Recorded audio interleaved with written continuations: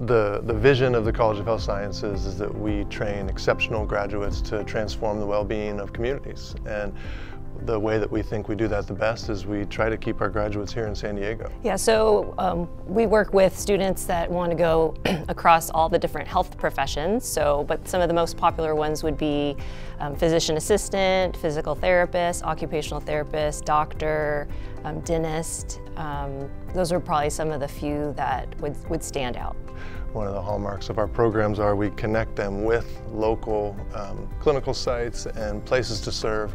Um, and so even as students, they're having an impact on our communities. But then our hope is that many of them, and, and this, is, this turns out to be true, that many of them do end up staying here, serving the local communities in their jobs, in their, in their place of work, but then also as they serve as well. We have multiple um, opportunities for students to uh, serve the homeless in, in, downtown San Diego, to um, uh, serve uh, in cross-cultural ministries, border ministries, things like that. Um, and so there's just so many opportunities um, for service and for engagement in our local community.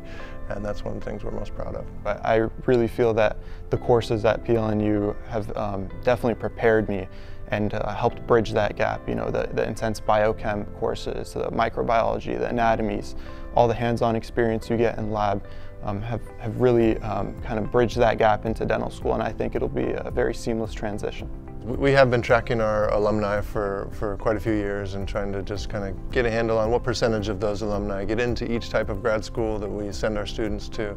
Um, and overall, our grad school acceptance rate for, for PA school is sitting right around 73% right now, which uh, the national average is, is more in the 30s. Um, and so we're significantly higher there.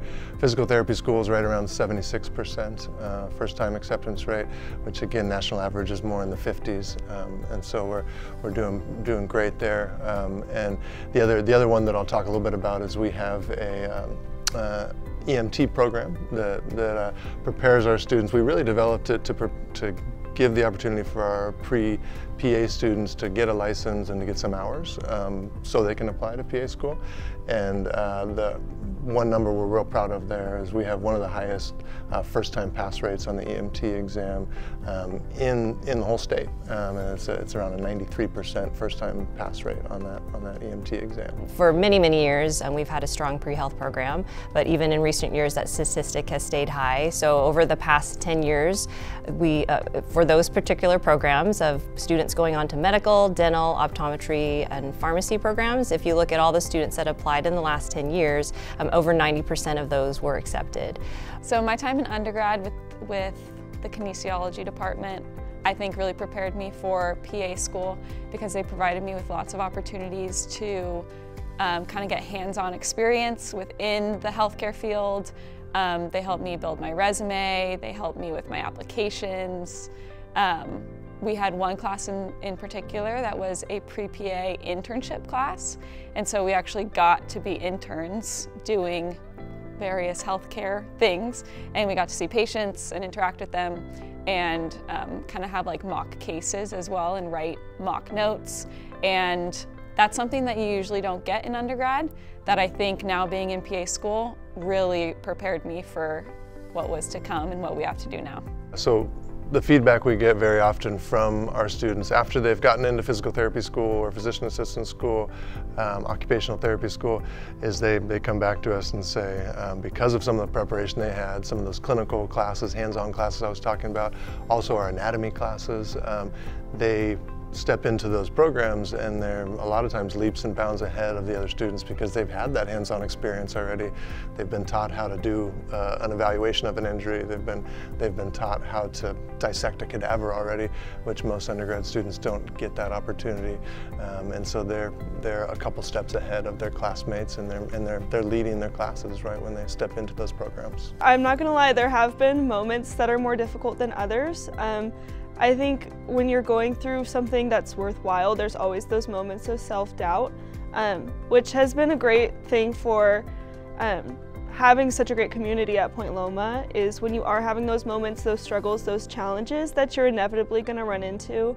Um, there is such a great community and there's a community of people going through similar things. Um, and luck luckily, um, it's more of a collaborative rather than competitive environment. So I found that with my classmates and, and things like that, we're always willing to talk it out and be vulnerable with each other. So I think an indirect measure of the success of our programs is our alums. Our alums are amazing. A particular alumni comes to mind and she really um, poured into me a lot actually. And um, I, in recent years I've found myself in a lot of doctor's appointments with various family members and that can be overwhelming um, with all the medical terminology, all the information that you're getting. And an alum of ours um, was able to help me navigate that. She helped me to formulate questions questions that I could ask the doctor. She helped me to sort of process the information that I was getting.